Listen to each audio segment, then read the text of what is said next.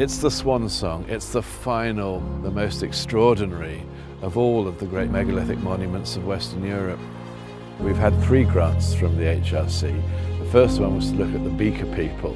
Many of them were buried in the round barrows around here. After that, we were funded for the Stonehenge Riverside project and we've just completed a third project which is looking at the resourcing. You know, who came from where, what did they need to actually construct this thing. It's always been the astronomy that's grabbed people's imagination about Stonehenge. What we've come to the realization of is that the astronomy is just a part of it.